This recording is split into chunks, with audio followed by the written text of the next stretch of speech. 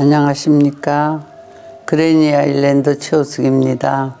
저는 항상 저녁마다 핸드폰으로 음악 감상을 하지요.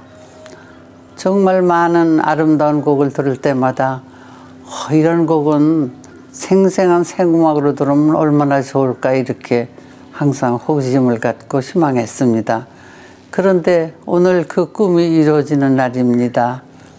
내가 좋아하고 잘 아는 존광준 첼리스트가 외도의 비너스 가든에 와서 연주를 해줬습니다.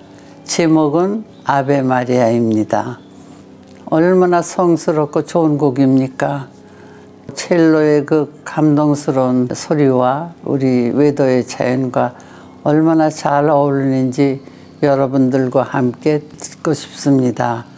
여러분 한번 잘 들어보시죠. 고맙습니다.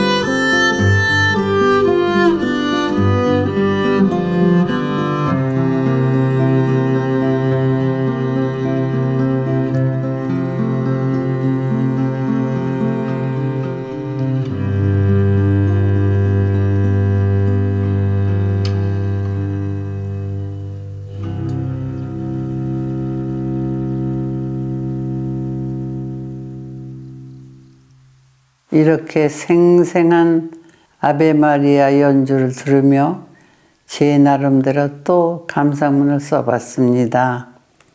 읽어보겠습니다.